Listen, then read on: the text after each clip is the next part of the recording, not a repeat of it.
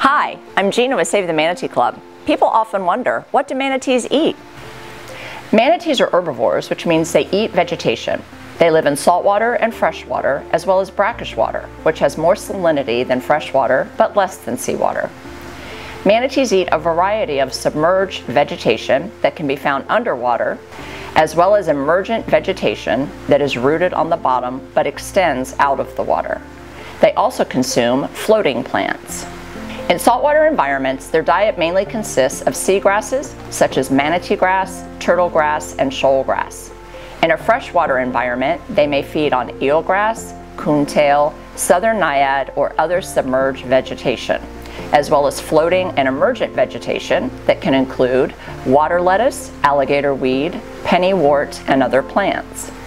They also consume a variety of invasive plants such as hydrilla and water hyacinth. Although manatees are considered herbivores, they may occasionally pick up small invertebrates or insects that are attached to the plants they eat, which potentially provides additional protein to them.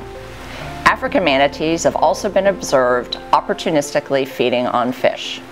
Manatees in human care are fed a diet of romaine lettuce that is supplemented with other vegetables such as kale, spinach, escarole, iceberg lettuce, carrots, and sweet potatoes.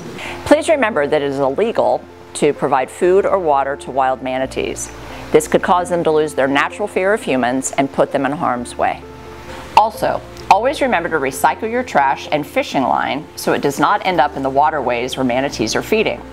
Just as manatees may inadvertently consume insects or small invertebrates, they can also ingest small plastics, fishing line, hooks, or other debris.